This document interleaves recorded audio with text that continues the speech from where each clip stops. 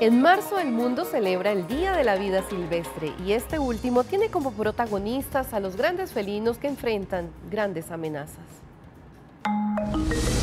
Feliz Día Mundial de la Vida Silvestre. El Día Mundial de la Vida Silvestre nos brinda la oportunidad de celebrar la belleza y la variedad de la flora y la fauna salvajes, así como de crear conciencia acerca de la multitud de beneficios que la conservación de estas formas de vida tienen para la humanidad. Proteger a los grandes felinos es el llamado del Día Mundial de la Vida Silvestre de 2018. Animales como el león, el tigre, el leopardo y el jaguar son símbolos de majestuosidad, de coraje y poder.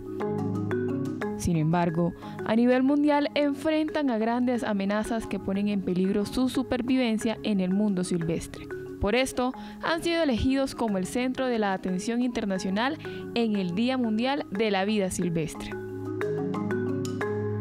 Según expertos de la Convención sobre el Comercio Internacional de Especies Amenazadas de Fauna y Flora Silvestre, las poblaciones de tigres disminuyeron en un 95% en los últimos 100 años y las poblaciones de leones africanos disminuyeron en un 40% en tan solo 20 años.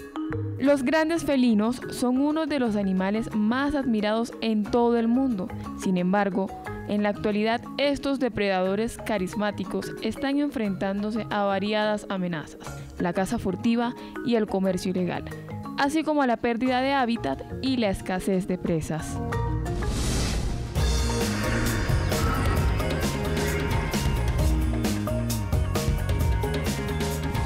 Antihéroes ambientales Dedicados a salvar el mundo de la ficción, hoy están bajo la mira de investigadores de la Universidad de Stanford.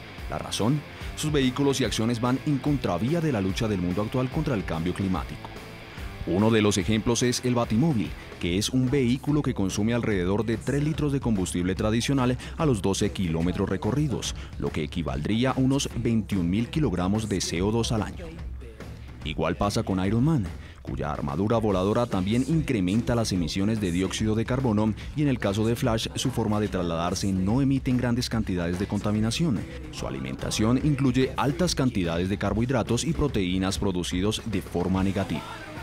Pero no todos los superhéroes atentan contra el entorno.